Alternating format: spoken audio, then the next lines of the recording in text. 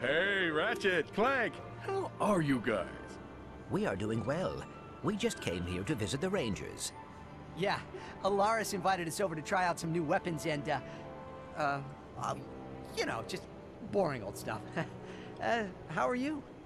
Great, good, fine, yeah. Prisoner escaping. Prisoner What did I tell you? No prison can hold Shiv Helix!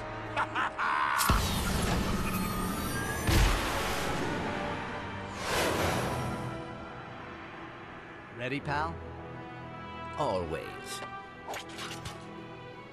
Hey, you coming? Absolutely.